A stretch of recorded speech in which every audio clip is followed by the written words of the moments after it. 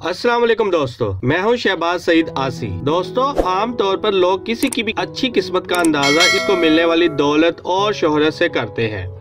मगर समझदार लोग इस बात को जानते हैं कि किसी भी किस्मत का अंदाज़ा इसको मिलने वाली दौलत या शोहरत से नहीं लगाया जा सकता। क्योंकि बाज दुख ऐसे भी होते हैं जिनका नेमुल बदल दौलत या शोहरत नहीं होती। ऐसे ही कुछ दुखों के बारे में मैं आज आपको बताऊँगा, जो कि इन लोगों को भी मिले जिनके घरों में दौलत और शोहरत, घर की बांदी की सूरत में रहती थी। पहली अदाकारा, नंबर वन, अदाकारा शमीम आरा। अदाकारा शमीम आरा का शुमार माजी की इन अदाकाराओं में होता था, जिन्होंने पाकिस्तान की फ़िल्म इंडस्ट्री पर राज किया, जिनका नाम बॉक्स ऑफ़िस में कामयाबी की जमानत समझा जाता था। और अपने वक्त के तमाम हीरो के साथ इनकी जोड़ी को फ़िल्म बेन बहुत पसंद करते थे। शमीम आरा अपने अरूज के जमाने में हदायत का डब्ल्यू जेड अहमद के साहबजादे फरीद अहमद के इश्क में बुरी तरह मुबतला थी। फरीद अहमद भी शमीम आरा से शादी करने के ख्वाहिशमंद थे, मगर इनके वालिद इस शादी के शदीद मुखालिफ थे। हदायतकार डब्ल्यू जेड अहमद इस बात का अंदाज़ा भी नहीं कर सकते थे कि इनकी एक नापसंदीदगी न जाने कितने घरों को बर्बाद करने वाली थी।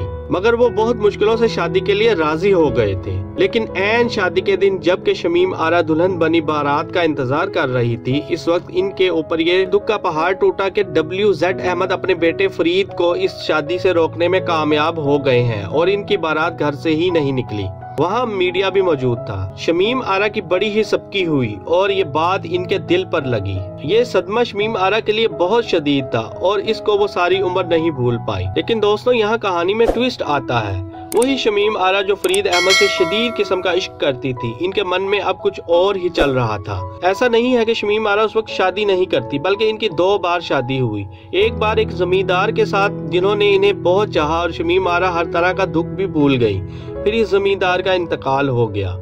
शमीम आरा ने दूसरी शादी एक बिजनेसमैन करीम मजीद से की और इनसे एक बेटे की माँ भी बनी। फिर झगड़ों की वजह से ये शादी भी खत्म हो गई। इस सब के बाद इनकी मुलाकात एक बार फिर फरीद अहमद से होती है, लेकिन यहाँ हम अदाकारा समीना अहमद की दुख भरी कहानी के जानब आते हैं, जिनकी कहानी भी अदाकारा शमीम आरा की कहानी से ही जुड़ी हुई है। कौन नहीं जानता कि अदाकारा समीना अहमद ने अपनी नौजवानी में शादीशुदा ज़िंदगी के हवाले से एक तकलीफ़ दा दौर देखा। दोस्तों, आप जानकर हैरान होंगे कि अदाकारा समीना अहमद की शादी हदायतकार डब्ल्यू जेड अहमद के बेटे फरीद अहमद से ही हुई, जो कि शमीम आरा से शादी के ख्वाहिशमंद थे। मगर इनके वालिद ने इनकी शादी समीना अहमद से करवा दी, जो कि इस वक्त टीवी एक्ट्रेस थी। समीना अहमद को अल्लाह ने एक बेटे और बेटी से भी नवाजा। समीना अहमद की ज़िंदगी हँसी खुशी गुजर रही थी कि कई साल बाद अचानक शमीम आरा और फरीद अहमद की मुलाकात होती है। यहाँ इनके गिले शिकवे हुए और बातचीत का सिलसिला फिर जुड़ गया। फरीद अहमद ने शमीम आरा से शादी की ख्वाहिश ज़ाहिर की, लेकिन शमीम आरा ने शर्त आयद की कि इसके बदले इन्हें बीवी और बच्चों को छोड़ना होगा। फरीद अहमद ने यह फैसला कबूल किया और अपनी बीवी को बच्चों समेत छोड़कर वापस शमीम आरा के पास आ गए इसके बाद शमीम आरा का खेल शुरू होता है। शादी के ठीक चार दिन बाद ही शमीम आरा ने प्रेस कॉन्फ्रेंस बुलाकर फरीद अहमद से तलाक का मुतालबा कर दिया